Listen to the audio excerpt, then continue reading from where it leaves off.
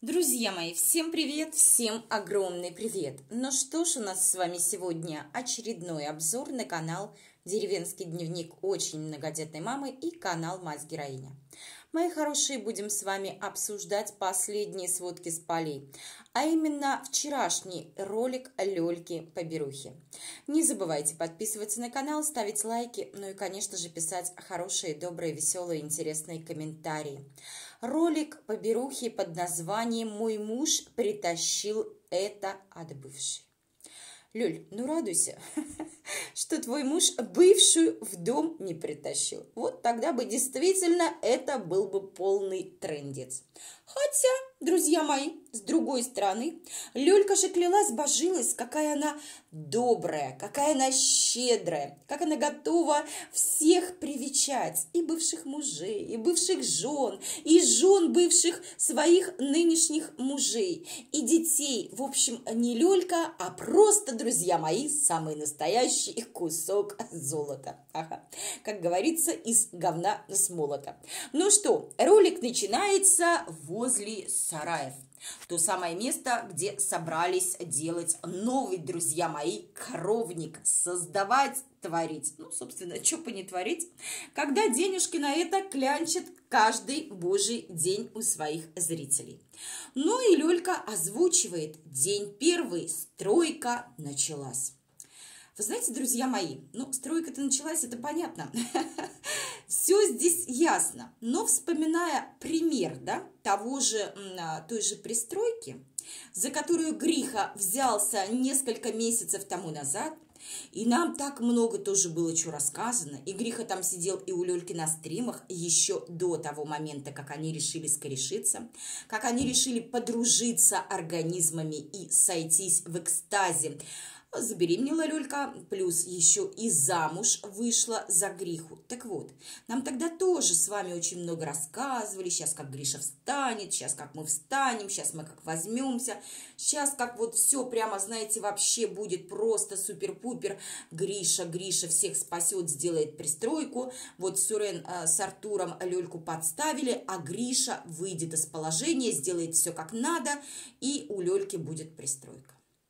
Ну что, а волосы ныне там, ни черта нет. Пристройки нет. Денежки донатили, донатили. Причем, напомню я вам, а, ну или тем, кто не смотрел, Донатили не только на стройматериалы и на все про все. Донатили даже деньги на зарплату грихи. 40 тысяч донатили. Не помню, может, там еще как-то донатили. Но помню, что один раз донат она тоже точно на 40 тысяч выставляла на зарплату Гриш. Там ни черта не сделали. Там ничего не довели до ума. Поэтому то, что Лёлька сказала, типа на старт, внимание, марш, день первый, стройка начинается. Ну, начинается-то понятно. Мне просто интересно, будет ли на сей раз что-нибудь доведено до ума. Я уже высказывала свои предположения относительно этой стройки. Я не уверена, что будет что-то доведено до ума. Я не удивлюсь, если друзья мои, все это дело опять же будет брошено, брошено буквально на полпути. Потому что мы знаем, с вами миллион проектов Люли, которые точно так же были брошены на полпути, то есть денежки были собраны со зрителей, а зрители донатили на какое-то благое дело, как говорит Лёля, да, на ее какие-то прямо великие огромные нужды, но ничего не построили. Ну, да ладно, посмотрим, в любом случае время покажет. Лёля попыталась объяснить, что это и как будет и с чем его едят, но тут же поняла, что не справляется и позвала Гриху на помощь. Объясняя, мол, да я не знаю, говорит, как правильно сказать. Мне так хотелось спросить, какого черта ты тогда выползла, если ты не знаешь, как правильно это называется. Далее, друзья мои, вот, знаете, опять же, смотрю на Гриху, Смотрю на Лёльку, смотрю на то, как они много болтают. Вот все-таки мне кажется, что это все дело ненадолго. Надолго их не хватит. Планов, как всегда, Гриша там вышел, начал рассказывать. Планов просто вагон и маленькая тележка, ну все как всегда. Гриша тот еще любитель поболтать, тот еще балабол, я бы сказала, да, у которого язык работает намного лучше, нежели все остальное. А тут же смотрю на собачку, а, Ханни бегает туда-сюда, туда-сюда, уже вся такая, знаете, по этой грязи носится, по этим сараям, по этим коровникам.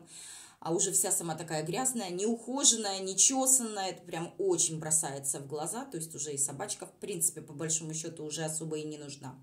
Ну, а далее нам начали показывать хозяйство, и Лёлька рассказывает о том, что вот на скотном-то дворе убирается она сама. Лёль, а что тогда делает помощник, который доер? Ну, типа, типа опять доер только исключительно доет. Ни за что в это не поверю. И ни за что не поверю в то, что Лёлька где-то там а, что-то там убирает и что-то делает сама. Устала, говорит Лёля, от кур, потому что, говорит, они бегают везде и срут везде, и везде, говорит, кругом их какашки. Ребят, если честно, я вот сколько раз смотрю на их, на их кур, которые носятся и по детской площадке, и по двору, и, собственно, практически везде, да, по всему участку. Если честно, не понимаю, почему нельзя взять и а, загнать кур, да, и как бы, ну, чтобы они действительно не бегали везде, чтобы они действительно не оставляли свое говно везде. Ну, это же как бы вообще некрасиво. А, вот все это засрут, да, естественно, кому потом это все дело приятно, естественно, никому. Не понимаю, неужели нельзя взять и кур собрать и поместить их, а, опять же, в какое-то помещение.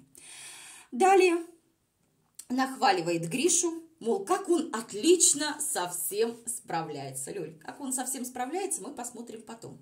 Если Гриша нам что-то продемонстрирует. И то, друзья мои, зная эту пару гнедых, зная эту парочку, зная Лёльку, на что она способна, зная Гриху, то, что он тот еще балабол, я не удивлюсь, если кто-то им будет помогать это делать, но потом будут выдавать все исключительно за работу Григория. То есть лавры на прекрасного строителя достанутся обязательно Грише. Ну что, говорит, поработали, говорит, пять часов, сказала Лёлька. Представляете, пять часов поработали. Вот, опять же, хочется сказать, свежо свида... э, предание довериться с трудом, потому что я не верю, что Лёля могла поработать пять часов. Ну, там 30 минут еще можно было бы поверить, да, и то как-то не очень вяжется с Лёлькой, а тут целых пять часов. А вечером, говорит, Гриша занялся рассадой, которую он привез от жены. Но это как раз-таки то, что Гришка притащил. Я так понимаю, что, наверное, рассада это была как раз-таки с того дома, куда они ездили, с Гришиной фазенды. Ну и Гриша объясняет, что же там будет. Причем объясняет, говорит, вот, говорит, притащил он черноплодку, там еще какие-то кусты, которые, говорит, будут цвести очень красиво и так далее. А я смотрю, ребят, в этот момент, когда Гриха объясняет, да, я так понимаю, что ему это все очень близко, ему все это очень интересно и так далее, но у них же был питомник, да, вот, но дело даже не в этом, то есть я понимаю, что Грише это нравится. А Лёля в этот момент, пока Гриша ей объясняет, а, что будет черноплодка, вот тут будут вот эти вот кустарники, будут такие, будут так цвести, красиво и так далее. А Лёлька, ребят, в этот момент стоит, смотрит на него, знаете, как баран на новые ворота. Типа, давай, давай, болтай, болтай, как говорится. А Васька а, слушает, доест. Это примерно из этой же серии. Вот по Берухе настолько все это сто лет не надо. Ни цветочки какие-то, ни кусточки, да, вот живет на земле. Я, конечно, понимаю, есть а, категория людей, которые живут на земле, у которых действительно очень много работы, там, и хозяйство, и туда, и сюда. Ну, есть такие люди, которые не держат никакие огороды, да, но что-то все равно ведь для себя или для детей можно было бы посадить. Хотя бы вот какие-то цветы, да. Помните, та же кормящая медалистка Женька, она приезжала и то, что там пыталась сажать иногда, по крайней мере, и так далее. Лёльке это все настолько чуждо, то есть ей вообще ничего не надо. Вот ей это вообще ничего не интересно. Там тоже какую-то клубничку посадить, опять же, для детей, да. То есть там Женька, скорее всего, что-нибудь приедет, посадит, чем-то будет таким заниматься, но Лёлька никогда. Поэтому она стоит, смотрит на Гриху, и ей это вообще не интересно. Вот не интересно от слова совсем. И, и, кстати, вы знаете, когда Гриша начинает, там, начал ей там все это рассказывать, там, туда-сюда, я вижу Люлину реакцию. Ребят, уже настолько заметно, что он ее раздражает своим занудством. А, кстати, так было всегда, и даже тогда, когда он просто у нее работал, еще года три тому назад, когда уж, еще у них не было никаких даже близких отношений, вот и тогда уже Лелька уставала от его занудства. здесь тоже она так на него смотрит, видно, что он ее уже достал. Но, как говорится, поздняк метаться, уже, да, беременна и уже вышла замуж. Далее. Далее, ребят, была картина маслом. Это был такой прикольный момент. Я смотрела, я просто оборжалась. Когда Гриха тащил телку, вернее, нет, дело было не так, это телки таскали Гриху по всему двору. Он вел их там на этой, на, на цепочке, да, держал там то ли на цепочке, то ли на веревке, там, короче, ладно, не суть важно, не знаю, как это правильно называется, но, в общем, в любом случае, то есть он должен был вести эту телку. Но в итоге так получилось, да, что он должен был перегонять этих телок, и в итоге так получилось, что эти телки таскали Гришку по всему двору. И Лёлька, глядя на эту картину, ей стало смешно, она говорит, смотрите, ноги себе не, по, не, не сломайте. Знаете, мне кажется, надо было вообще по-другому. Надо было Грихе. Сначала Лёльке схватиться за эту веревку, да? Потом Гришки, и, глядишь, вдвоем бы они справились, а потому что все-таки Лёля покрупнее будет. Че, конечно, с Гришки толку никакого, он там такой его дунешь и ветром унесет. Естественно, он никак бедный не мог справиться с этими телками. С телками, а представляете, с быком, да? То есть это с телками.